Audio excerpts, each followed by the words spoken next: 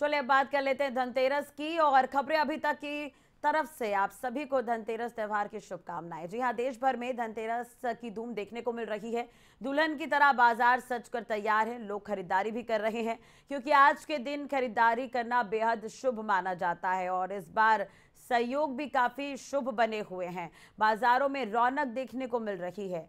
तो दुल्हन की तरह बाज़ार जो है वो सज कर तैयार है। धनतेरस का त्यौहार है आज और आपको बता दें कि आज के दिन खरीदारी करना शुभ माना जाता है। आज के दिन लोग सोना, चांदी और बर्तन खरीदते हैं। आज और कल यानी कि 22 और 23 अक्टूबर को धनतेरस का त्यौहार मनाया जा रहा है। धनतेरस के दिन सोने, चांदी के आभूषण और धातु के बर्तन खरीदने की परंपरा है। कार्तिक मास की त्रयोदशी तिथि बाईस अक्टूबर यानी कि आज छः बजकर दो मिनट से ही जो धनतेरस का जो शुभ मुहूर्त है वो शुरू हो जाएगा।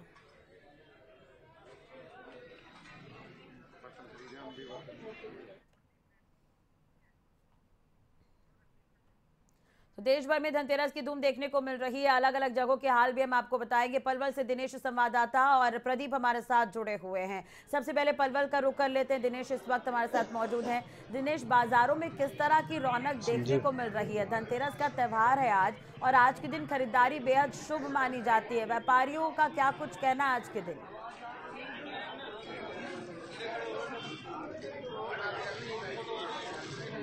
देखिए राष्ट्र को बता दें कि दिवाली से ठीक एक दिन पहले ही जिस तरह से धनतेरस का त्यौहार, बड़ी धूमधाम से मनाया जाता है तो इसी तरह आपकी बार भी धूमधाम से ये त्यौहार मनाया जाता है। पिछली बार जब कोरोना का भय था, दो साल से दिवाली कहने की भीड़ की रही कोरोना की वजह से लोग डर के पाए में कहीं कहीं त्यौहार ये नहीं मना पाई लेकिन हम बात करें तो आज की जो धनतेरस का त्यौहार, बड़े ही धूमधाम से मनाया जाता है। काफ़ी रौनक है सब पूरी बात है कि बर्तन है जो खरीदना, शुभ माना जाता है। चांदी के जो है, हम लोग जो आप बर्तन खरीदते हैं कुछ बर्तन जो अलग अलग डब्बों के बर्तन हैं महिलाएँ बाज़ार में पहुँचती है शॉपिंग करती हैं।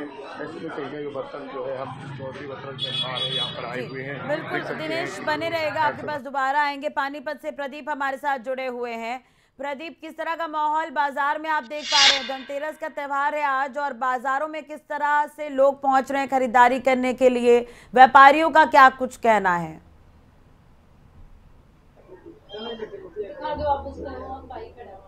बिल्कुल देखिए धनतेरस दीपावली का त्यौहार हो और खरीदारी की हम बात ना करें तो बेईमानी होगी। इस वक्त हम प्रताप बाज़ार में यहाँ पर देखिए इस शोरूम से आप अंदाज़ा लगा सकते हैं कि यहाँ पर जो खरीदारों की भीड़ जुटती जा रही है क्योंकि धनतेरस पर जो तमाम लोग हैं, वो चाहे ज्वेलर्स ज्वेलरी खरीदते हो या बर्तन खरीदते हो, कुछ ना कुछ नई चीज़ें खरीदते हैं। तो आप यहाँ पर भी देख सकते हैं कि सुबह से जो कस्टमर है, वो अलग अलग शॉप पर आ रहे हैं। वो बर्तन की हो या फिर ज्वेलरी की तो यहाँ पर खरीदार सामने बैठे हैं और कुछ ना कुछ चीज़ें खरीद रहे हैं। हम व्यापारियों से बातचीत करेंगे किस प्रकार का माहौल है और जो कस्टमर भी हैं, उनसे बातचीत करने की कोशिश करेंगे। हमारे साथ है जी। धनतेरस पर क्या मानते हो कि आप नई ज्वेलरी खरीदते हैं? धनतेरस पर नई ज्वेलरी खरीदना एक शुभ काम होता है। धनतेरस को इसलिए बोला जाता है। धनतेरस के दिन हम अपने ज्वेलरी व चांदी का सिक्का या चांदी का गिलास ले जाकर उसकी पूजा की जाती है, इसलिए धनतेरस सबके शुभ माना जाता है। तो देखिए, धनतेरस शुभ माना जाता है और आगे भी यहाँ पर संख्या से आप अंदाज़ा लगा सकते हैं कि इस बाज़ार में इस तरह की दर्जनों दुकानें लेकिन तमाम दुकानों पर इसी प्रकार की आपको भीड़ दिखाई देगी और लोग शुभ दिन मानते इस दिन की कुछ न कुछ सोने या चांदी के आभूषण खरीदे। हम जो यहाँ पर व्यापारी हैं, उनसे भी पूछने की कोशिश करेंगे। सर, आम दिनों के मुकाबले अब कस्टमर कैसा है? बाज़ार का माहौल कैसा है? बहुत अच्छा है। मैं सबसे पहले आप सबको धनतेरस की बहुत बहुत बधाई देना चाहूँगा। दीपावली की शुभकामनाएँ देना चाहिए भैया दूज भैया दूज की भी सबको शुभकामनाएँ। आज धनतेरस है, आज बहुत अच्छा दिन है। परमात्मा की दया से आज कुछ काम निकला है। बाज़ार में अब ठीक है अच्छा है। आज लोगों के दीपावली के दिन अवसर पे यार लोग आ रहे हैं। धनतेरस पे लोग परचेजिंग कर रहे हैं। लोगों का कुछ लेने का मन है, चाहे वो चांदी का सिक्का लें, चाहे सोने की अंगूठी लें, जो भी है लोग लेने की कोशिश कर रहे हैं। सबको मैं बहुत बहुत बधाई और मुबारकबाद दीपावली की और भैया दूध धनतेरस की देना चाहूँगा। बिल्कुल, देखिए, और भी हम ग्राहक हैं, उनसे बातचीत करने की कोशिश करेंगे। काफ़ी खुश है क्योंकि आज कुछ ना कुछ नया लेकर घर जाते हैं। मैम, आप बताइए, धनतेरस है आज क्या खरीदारी करने के लिए कितना शुभ मानते हो धनतेरस पे सबसे पहले तो मैं जैसे लक्ष्मी पूजन करते हैं मैं एक महिलाओं के बारे में बोलूँगी।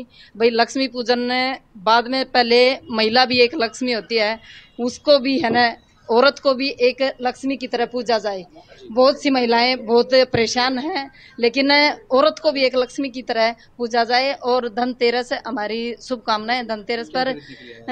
आज मैं थोड़ा सा चांदी या गणेश की तस्वीर और लक्ष्मी पूजन पर मैं बहुत सारे बर्तन वगैरह खरीदना चाहूँगी। और इस जिस दुकान पर हम बैठे हैं तीस पैंतीस साल से हमें हमारे जो दुकानदार हैं बहुत अच्छी प्रकार के ये जी तो देखिए खुशी है लोगों के चेहरे पर और कस्टमर्स की संख्या से आप लगा सकते हैं कि शुभ दिन मानते हैं इसको। और खरीदारी जो है आम दिनों के मुकाबले व्यापारियों में खुशी का माहौल है कि खरीदारी जो है बिक्री जो है वो पहले के मुकाबले कुछ ज़्यादा हो चुकी है। जी।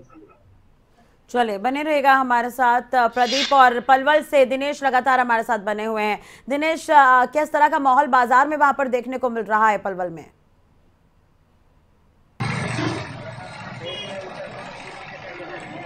बाज़ार में काफ़ी अच्छा माहौल है।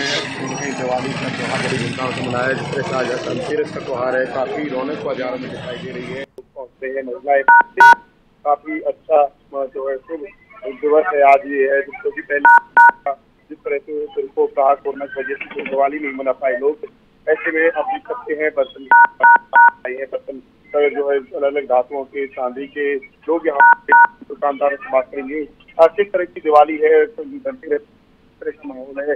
किस तरह की शॉपिंग कर रही है? कितना रौनक दिखती है इसके बाद? बढ़िया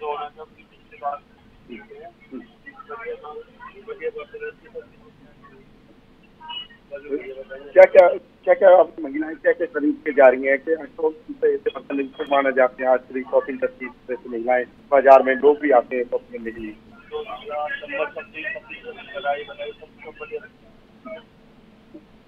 कढ़ाई वगैरह सब सब बढ़िया लगता है।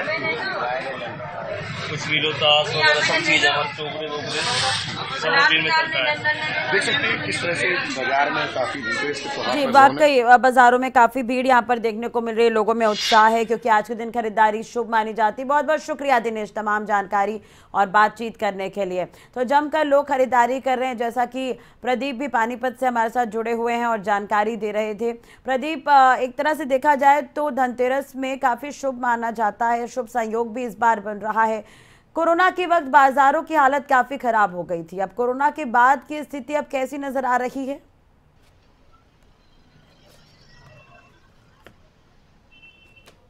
बिल्कुल देखिए यहाँ के जो बाज़ार है वो काफ़ी प्रसिद्ध भी है और लेकिन कोरोना ने रौनक ख़त्म कर दी थी। लेकिन अब देखिए यहाँ पर जो बाज़ार है वो पूरी तरह से सजे हुए हैं कस्टमर के इंतज़ार में।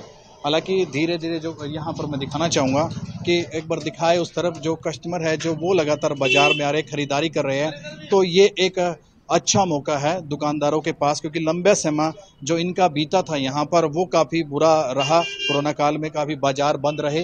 तो उस तरफ़ देखिए, जो कस्टमर है, वो लगातार बाज़ार में आ रहे, खरीदारी करने कर रहे हैं। तो निश्चित तौर पर कहीं ना कहीं जो लंबे समय तक यहाँ के जो दुकानदारों को परेशानी आ रही थी, वो अब की बार लग रहा है रौनक देखकर कि वो दूर होगी और जी। बिल्कुल। प्रदीप और जी। चले प्रदीप, एक तरह से देखा जाए तो अब कोरोना का वक्त था, बाजारों से रौनक चली गई थी, अब वापस से बाजारों में रौनक लौटी है और कहीं ना कहीं व्यापारी भी अब इससे खुश हैं और लोग भी काफ़ी खुश हैं क्योंकि बिना बंदिशों के वो दिवाली का त्यौहार मना पाएँगे। व्यवस्था किस तरह की है? क्योंकि बाज़ार में जब त्योहारी सीज़न आते हैं तो भीड़ भी बढ़ जाती है। तो प्रशासन की तरफ़ से कोई व्यवस्था क्या वहाँ पर की गई है?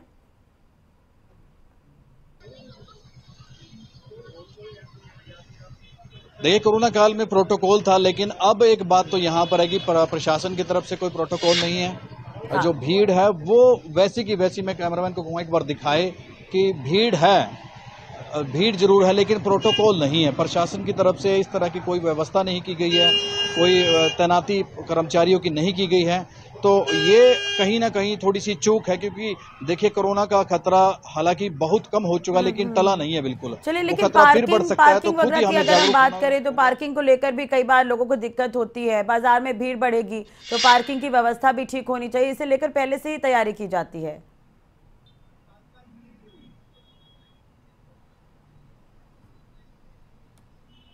देखिए इसको लेकर यहाँ पर सिर्फ़ मुख्य बाजारों तक ही जो पुलिस प्रशासन सीमित है वहाँ पर आपको इक्का दुक्का जो कर्मचारी है पुलिस के कर्मचारी वो ट्रैफ़िक खुलवाते नज़र आएँगे। लेकिन यहाँ पर हम दिखाना चाहेंगे देखिए आगे देखिए एक बार। यहाँ पर जो पार्किंग की व्यवस्था है बाइकें जो खड़ी है वो एक सबसे बड़ी यहाँ पर मुसीबत बनती है क्योंकि भीड़ बढ़ जाती है उसके बाद लोग वाहन को अपनी यहाँ गलियों में पार्क कर देते हैं सड़कों पर पार्क कर देते हैं जिसकी वजह से एक अव्यवस्था यहाँ पर फैल जाती है। जिसकी यहाँ पर प्रशासन की हल्की सी चूक यहाँ पर दिखाई दे रही है कि किस प्रकार से अव्यवस्था है। इसकी तरफ़ प्रशासन को ध्यान ज़रूर देना होगा। जी।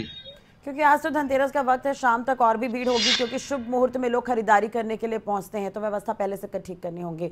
चलिए तस्वीरें आपने दिखाई लोगों से बातचीत की। बहुत बहुत शुक्रिया प्रदीप तमाम जानकारी और बातचीत करने के लिए।